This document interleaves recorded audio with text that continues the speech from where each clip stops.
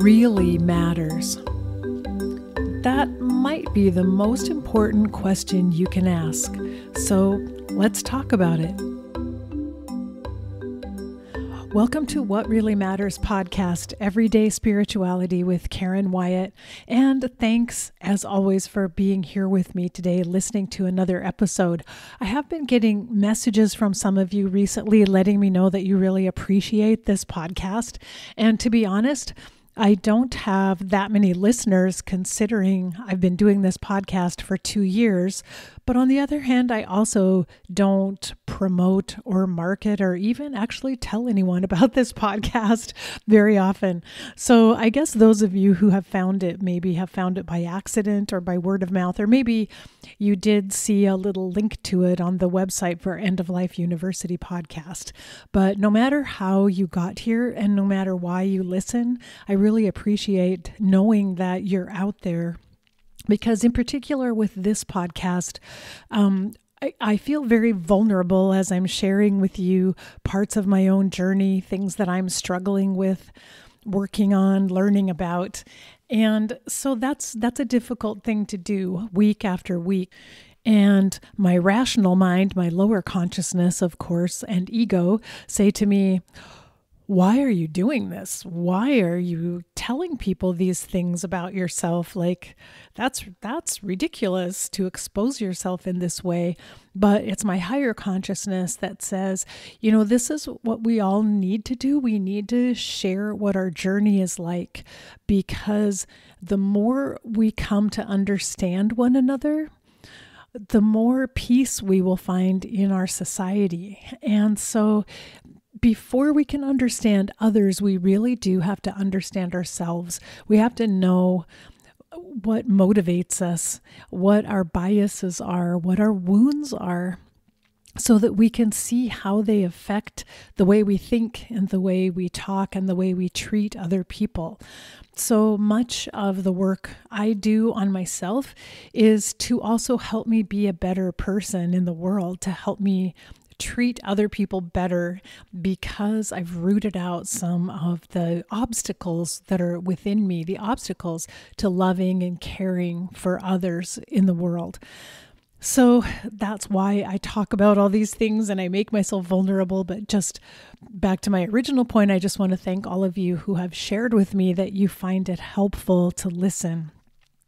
That's a little piece of information that helps me remember that there's value in doing this and helps me feel brave and strong enough to talk about the things that that I get inspired to discuss.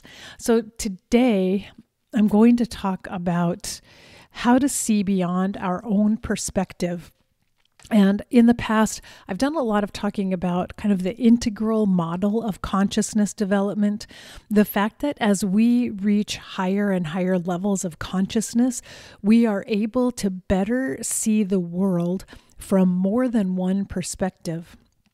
At lower consciousness, we look out at the world through this filter, this lens that has been created in our minds based on our past history, what society has taught us, what our parents have taught us, the traumas we've experienced, whatever pain we're carrying within us influences kind of the shape of the lens that we're looking at the world through.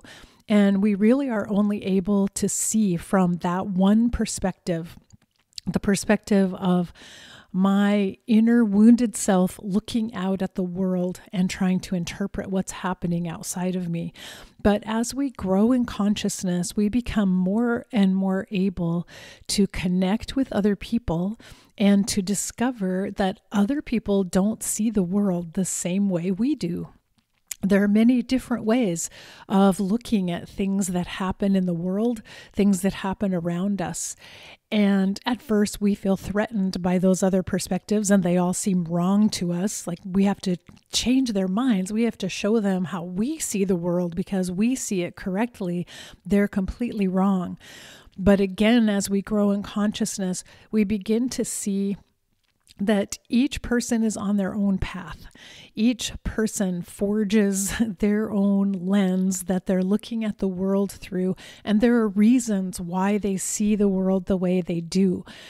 And gradually, we can develop more and more compassion for other people and understand where their perspective comes from, even if we don't agree with their perspective and we may not agree with how they behave because of their perspective, we can at least still feel respect and value for those people. We can see them as part of our community, as connected to us as human beings, and we understand at some level how that perspective came about. So, at lower consciousness, it's very threatening actually to learn about someone else's perspective because we don't want anything to shake our certainty that the way we see the world and what we believe and how we think is correct and true. So, at lower levels of consciousness, we shut out other information. We don't want it to come in. We ban books. We shun people who think differently than we do. We group together with everyone who sees the world through a similar lens, and we condemn everyone who sees the world differently. But this is the perspective, this level of consciousness is what leads us into conflict and wars and hate crimes and polarization and division in our society. So it's really essential that we work on our own consciousness to help us grow and to help us be able to take more and more perspectives, even though there are many people in the world who do not and probably never will share our perspective. They will not look at the world the same way we do, and they may not understand us or have compassion for us. But we can't let that deter us. As we reach higher levels of consciousness, it becomes part of our responsibility and it's part of our own spiritual path and spiritual growth to have empathy for the perspectives of other people, to see them and recognize where they come from. And so I, I want to tell you why I got on this this topic today because I had planned to talk about something else. But for the last couple of weeks, I've been reading a book, and this is the book that was the reading selection for my online reading group, A Year of Reading Dangerously. The book is The Good Death An Exploration of Dying in America by Ann Neumann. And so I've been reading this book, and Ann Neumann kind of blew my mind because she told this amazing story. And Ann is a journalist whose father died. She cared for her father at the end of his life, and that's what inspired her to kind of go on this journey writing about death in America and interviewing people and exploring it. But one of the stories that Ann tells is that a, a number of years ago, as she was working up to to writing this book, she became interested in the death with dignity and medical aid in dying movement and started writing articles about it. She started posting things online, blogs online supportive of medical aid in dying and found that there was a whole group of people that were very negative and very outraged about what she was writing. And this group included um, people who were disability activists who themselves were disabled and were very vocal and very adamant that from their perspective, medical aid in dying is wrong. It's euthanasia in, in their eyes. And she writes that she had many back and forth exchanges, sometimes angry with people. She tried to explain her position. She could not understand where they were coming from. She tried to say, like, the fact that someone who's terminally ill wants to um, control when and how they die is has nothing to do with a disabled person. Like this it's not the same thing. You're conflating things that don't belong together. And she had a very hard time understanding their perspective and why they were so opposed to the idea of medical aid in dying. And this, I'm paraphrasing her words from her book. But apparently, one of the most vocal people who had um, argued with her online said, If you would ever like to have a face to face conversation, let me know and we can sit down together across the table and discuss this. And she decided that's a great idea. So she traveled to where he lived and she met with him um, I think over coffee or over a meal. I, I may I may get some of the details wrong, but the essence of the story is this that they had a really in-depth conversation and she found that he wasn't as angry or strident as she imagined he was from the things that he wrote online when she met him in person.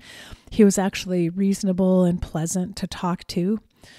And it turns out they actually they met up more than that one time. And they stayed in communication with each other and actually became friends over time.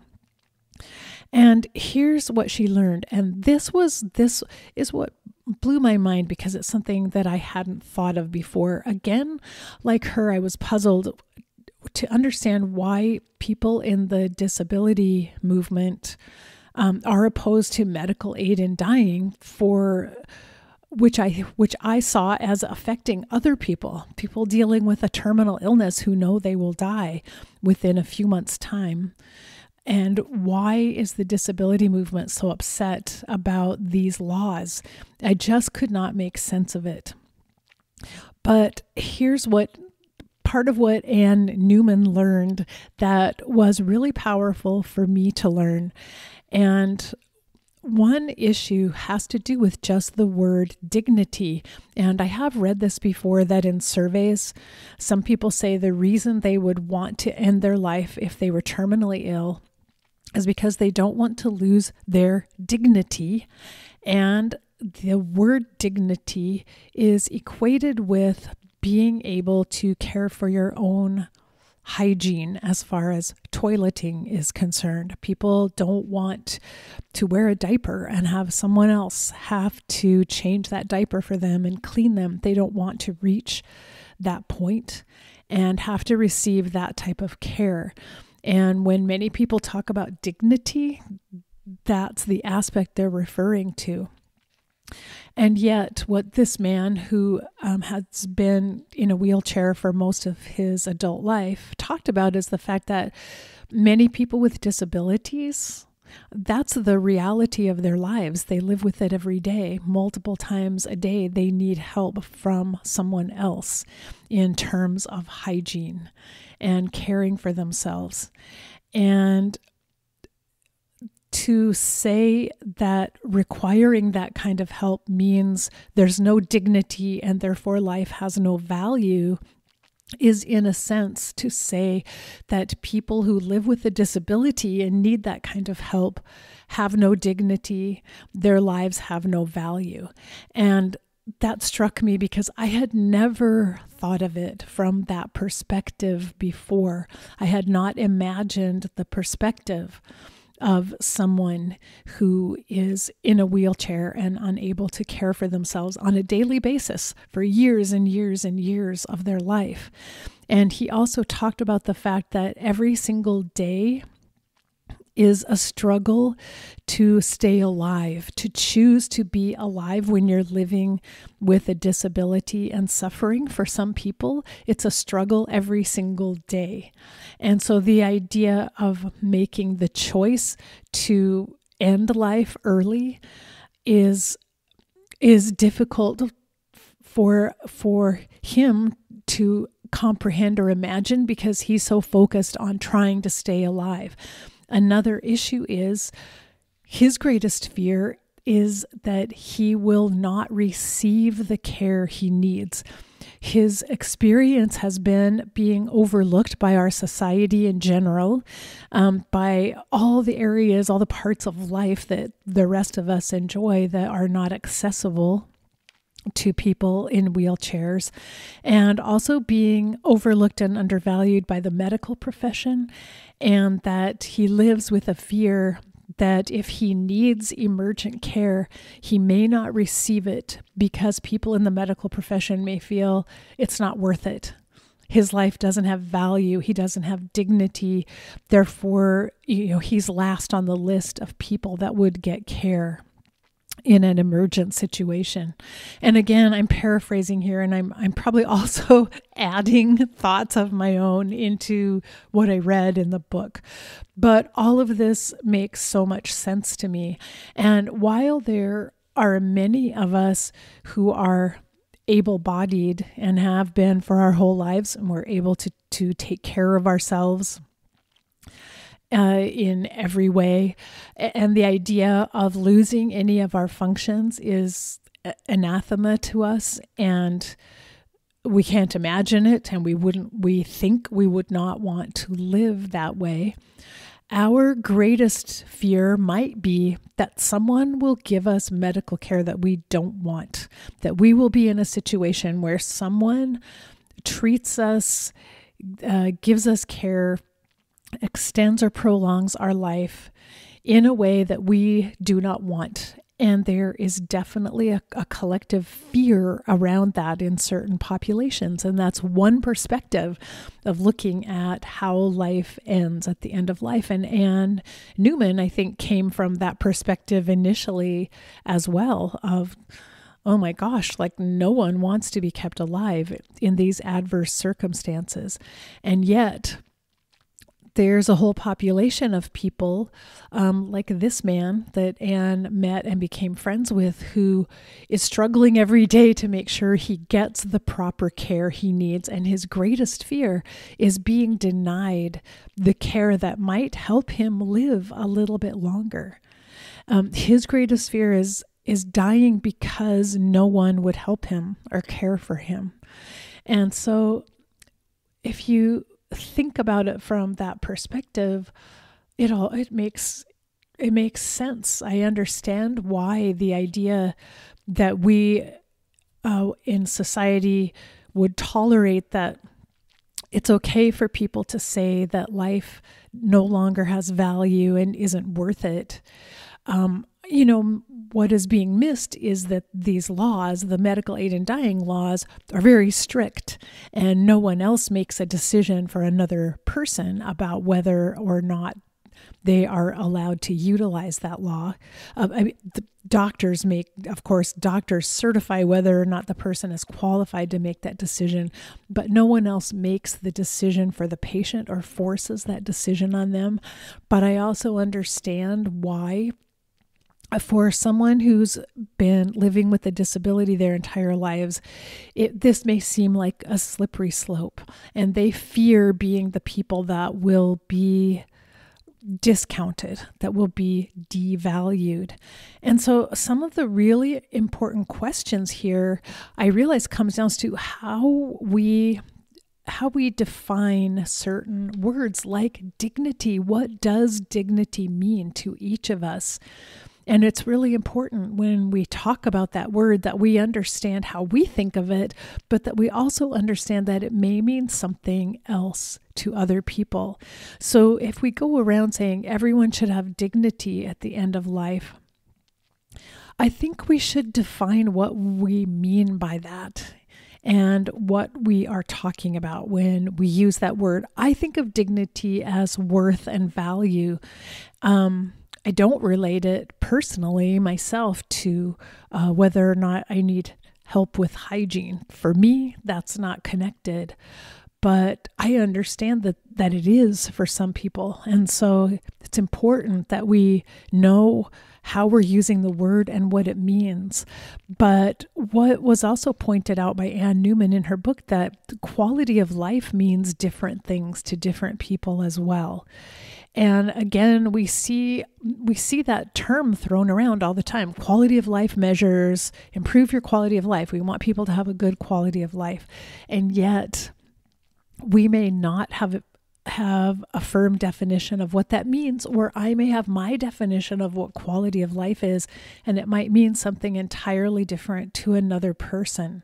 So, if we're going to discuss it, and even if we're going to write articles and we're going to put memes out on social media that use these terms, we need to understand and explain exactly what we're talking about. Exactly what, when I say dignity or quality of life, this is what I mean by that. And explain our definitions of things so that it becomes clearer to other people what we mean. And I, I see how so often some of our conflicts come because we simply don't understand the language we're using. We don't understand each other's definition of terms. So it's really essential that we're very clear in our language about what we mean. And another issue that Ann Neumann brings up in her book is simply we may not even agree on what it means to be alive. And even science has had some questions about that. How do we determine if a person is no longer alive? And we use the term brain dead for someone whose heart is still beating, but bra- their brain appears to have no function, and have decided that that's equivalent to being dead, basically. But not everyone sees it that way, and not everyone agrees on that. And so, this is a very basic issue to discuss between us, but also to have compassion and empathy that someone may see it differently than we see it. What I see for me, what I value for me, what I what I choose for me may be entirely different from what someone else chooses. And it's so important for empathy and compassion that we learn how to take other perspectives and how to see things the way other people are looking at them. And that is, again, it's part of our spiritual growth, it's part of our path to learn how to take other perspectives. And so I thought about some of the steps that are necessary to begin to take another person's perspective, and that in the very beginning, we have to let go of our outrage over the fact that some people don't agree with us and don't see things the same way. We have to stop being angry and we have to stop defending our position so forcefully that we put down and shun and eliminate any disagreements with our perspective. So we have to tone it down. We have to control our emotions and kind of let go of being angry and imagine that's what it took Ann Neumann to go visit this man who had argued with her in writing online to let go of her outrage and have a sense of equanimity about going to meet him and also a sense of just curiosity like what is it? What makes you tick? What are what are you about? I want to know more about who you are and your life. So i think letting go of outrage and having a healthy sense of curiosity about other people that's a really important first step. And then the other thing that Ann Neumann did is simply listen. And I think we need to go in with the intent to really hear what other people need to say more than we need to say how we feel. We need to listen to other people and learn from them and be willing to just hear their story. What are they about? Where did their ideas come from? How how did they form the lens that they're looking at the world through? What happened in their lives that formed it? And I think that's something really important that Ann Neumann learned and I learned as well by reading her story about having this intimate, deep conversation with someone who's been in a wheelchair for most of his life and really coming to understand what life has been like for him. And I think it's essential that we take the attitude that we're there to receive the other person. If you know what I mean, we're so open that we are willing to let that other person come into our conscious awareness we're willing to suspend, in some ways, our defensiveness and our ideas and attitudes about what's right or wrong and receive what this person needs to tell us. It, it doesn't mean that we need to suddenly shift our perspective on issues, only that we need to broaden our own perspective so that we can embrace additional perspectives and so that we're able to shift into a different perspective and see how or why someone else might feel the way they do about a particular topic. And I think part of that receiving of another person is beginning to understand their pain. What is hurting them? What, what has traumatized or hurt them throughout life that has shaped the lens they're looking at the world through? And what are they afraid of? And so, if we can look at pain and fear we can understand so much about what motivates another person and and what's behind sometimes maybe their their rage and anger and maybe even violence sometimes we might be able to understand that better i'm not saying that we condone uh, negative hurtful behavior but it may begin to make sense to us so that we don't need to be hateful or angry back toward another person who's who's behaving in that way. So I think this is really essential for us, especially right now in our society. There's so much polarization, there's so much anger being expressed on all sides of every issue. It gets confusing, it gets overwhelming at times.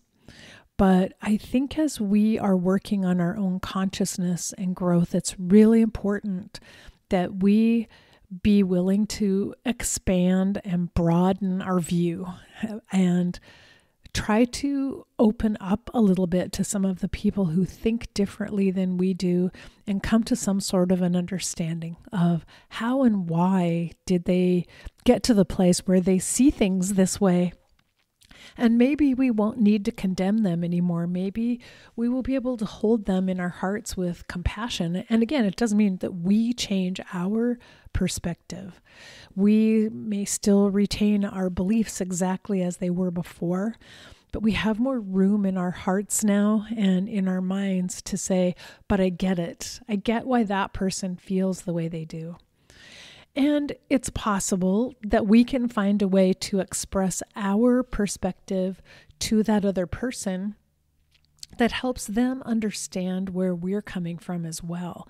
And we might be able to bring about a little bit more peace in our relationships and overcome some of the negativity and the hostility that's happening. And ultimately, I think that we need to stop creating enemies of other people around us because, you know, we really are all one. We're all connected. Us human beings here on planet Earth, we're all here at the same time trying to live the best lives we can on this earth. And if we can stop viewing other people as our sworn enemies and find some way to to have some acceptance for them I think that brings about greater peace in our society, greater healing and creativity and growth, and even opportunities to resolve some of the prob- deep and serious problems we're facing right now with climate change. If we can work together, even though we have different perspectives, even though we see things differently and value different things. And so I wanted to bring this to a close with a quote I really like from Thich Nhat Hanh, who says, When you begin to see that your enemy is suffering, that is the beginning of insight. And so, what I get from this quote, first of all, is that uh, is this is this person really an enemy? And as soon as we see that someone else is suffering, are we able to still view them as an enemy if we saw them that way before? Or do we suddenly see them as having something in common with us? We see their pain, we see their fear. And Thich Nhat Hanh writes, it's the beginning of insight into ourselves if we can recognize the suffering in other people. It all works together. It's almost a catch 22 in a way we have to be able to uh, to see the suffering of others to gain insight into ourselves. And we need more insight into ourselves in order to recognize the suff- suffering of others. But it all happens simultaneously. We're working on it together all the time. And so for me right now i want to look at the people in my life that I sometimes clash with or have conflicts with, the people that just baffle me and I do not get I don't get how they think. I don't get how they could behave that way. I want to start opening my heart a little bit. I want to change some of my language. I want to make sure when I talk to them, I define what I mean by using certain terms and I want to understand what they mean. I want to tone down my emotions and my outrage. I want to listen first with an open heart. I want to understand their pain and their fear because I believe that person will no longer be an enemy to me. I believe I will be able to see that person as a fellow traveler here on this journey, this very strange journey of life on planet Earth. And the more the more I let other people in, and the more perspectives I can take, the more chances we have to work together to make things better for everyone. And that's what I'm hoping for. So, I don't know if this discussion is useful for you or not, but I wanted to share it with you because it's what's been on my mind for several days now.